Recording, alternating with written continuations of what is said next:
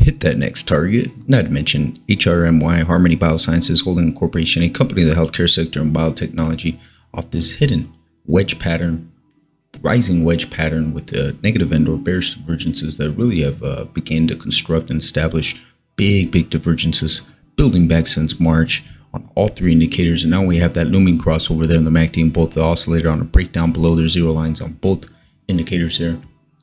And we hit that 1408 price support to the button, snap down, issued a sell signal. In my previous video where I'd mentioned a snap right before that 50 day moving average and uh, thus far has been good for a 15.5% crash.